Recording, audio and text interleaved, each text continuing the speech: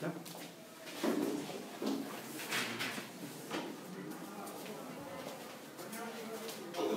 Bueno, Santi, ¿qué, ¿con qué sensación te marchas del Collar? Muy buenas. Estoy muy satisfecho con el trabajo que ha hecho el Club Deportivo Orense. 2-0 al final. Estamos en el campo del líder, eh, yo creo que hemos jugado de tú a tú, incluso bueno, una, una dejanza que ha tenido ahí al final y bueno, un poquito la, la jugada polémica previa al 2-0 ¿no? también ha podido resultado, pero son cosas que pasan en los partidos. Son cosas que pasan, pero que podían haber decantado la balanza de un lado o de otro. Yo he visto dos jugadas polémicas. Una cuando sale el portero de Alcoyano fuera del área, despeja con los puños, se le pita falta a Hanza. Y otra, un penalti, desde mi punto de vista, clarísimo a Kaluk, cuando el partido estaba agonizando y podía haber sido el empate a uno. Sin lugar a dudas. De eso no tengo nada que decir, ¿no? Tú lo has resumido perfectamente. Han sido jugadas claves que podían haber decantado el partido hacia el Club Deportivo Orense. Pero al final, pues hay otras cosas que influyen. Imaginamos, bueno, supondremos que el árbitro se ha equivocado, ¿no? Como nos podemos equivocar todos.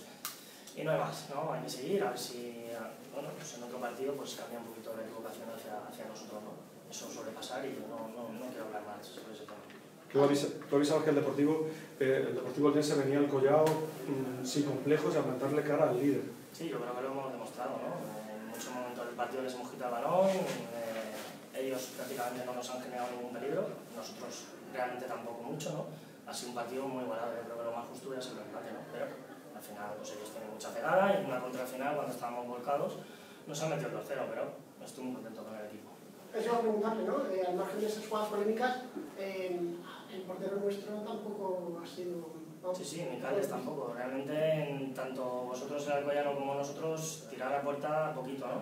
Sí que es verdad que Hansa ha tenido una al final que no ha controlado, que hubiera supuesto el empate 1, pero eh, Carles prácticamente no ha parado ningún balón tampoco. Somos contentos, ¿no? Sí, muy contentos. La verdad que el trabajo del equipo está siendo muy bueno y al final, pues, las rachas cambiarán, ¿no? El fútbol es así, nosotros tenemos que seguir. Hemos venido a un campo muy complicado, donde lo sabíamos, pero yo creo que el Eldense ha demostrado que está capacitado para pelear con cualquiera. Te iba a comentar eso, que has visto que en algún momento el Deportivo Eldense le ha disputado el partido ¿no? al, al líder imbatido, al, al Alcoyano, incluso en una de las últimas jugadas ya hemos visto al Alcoyano buscar el, banderín de córner para intentar que el Deportivo no reaccionara a la contra. Correcto, yo creo que el Eldense ha hecho un partidazo ¿no? en todos los sentidos, igual que lo hicimos contra el Intercity.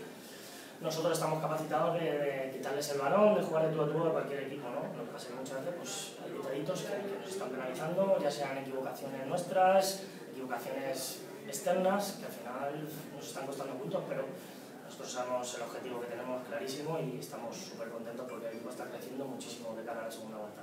Después de muchas jornadas sin poder contar con Neville, en su tierra has decidido darle la oportunidad de que formara parte del once titular. Sí, sin lugar a dudas el chico se lo merecía, está entrando muy bien, yo sabía que iba a estar extra motivado y yo creo que el tiempo que ha estado ha estado muy bien como, como todos sus compañeros. ¿no? Yo creo que tenemos una plantilla que cualquiera que sale cumple, lo hace de maravilla. Estoy muy satisfecho con los jugadores que tenemos. De todos modos, te has dado cuenta cuando ha terminado la primera parte de que el Deportivo tenía más profundidad por una banda que por otra. Has cambiado a Neville y a, a José Alfonso de banda y ya en el descanso has dejado a José Alfonso para que tuviera más profundidad por la izquierda con Calú, ¿no? Sí, eh, yo creo que todo eso lo tenemos bien trabajado. ¿no? Hemos jugado un poquito por dentro en el primer tiempo para un poco despistar al Alcoyano, para en el segundo eh, tiempo aprovechar la velocidad de Calú. ¿no? Yo creo que, que, hemos abierto las bandas y, y les hemos hecho daño. ¿no? Yo creo que los hemos desajustado y ya te digo, ellos en el segundo tiempo prácticamente ni nos han llegado. ¿no? Yo estoy muy contento que en casa del líder el Mense en el segundo tiempo los ha, los ha metido en su campo. Semana y media por delante para volver a competir. El fin de semana que viene no hay liga. Correcto. Nosotros ahora preparar el partido del Saguntino, que ahí sí que, que no podemos fallar ¿no? en casa.